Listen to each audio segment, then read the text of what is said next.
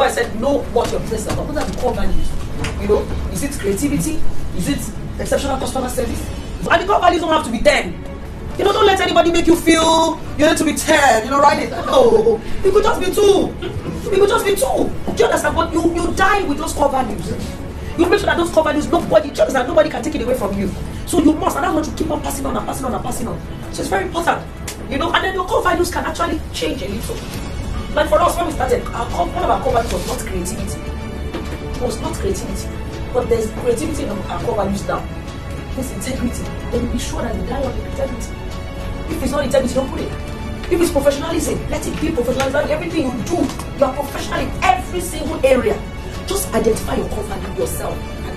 Make sure that everybody understands and then you follow it to the end.